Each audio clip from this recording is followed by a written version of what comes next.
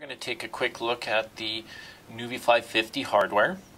On the side here we have the battery cover release button. You just slide that up and it's going to pop up. Slide that out and here we have the battery. Take the battery out, just get our fingernail in there, pry her out. We got the battery contacts here and then we have the memory card slot for the micro SD right here. We've got our serial number here if you need to unlock any special maps for the GPS unit. We got the USB port behind this waterproof cover for transferring data. And we've got the speaker in here also. The speaker is mounted in a way that this unit is waterproof, even though that you see the holes here. You don't need to worry about water getting in and wrecking the GPS.